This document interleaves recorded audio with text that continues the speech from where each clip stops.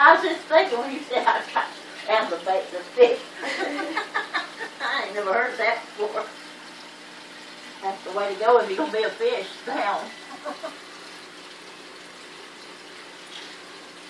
Your phone is gonna be full of nothing but fish videos. Hey, kid. Well, he puts a lot of them on the internet. Uh-huh. Some of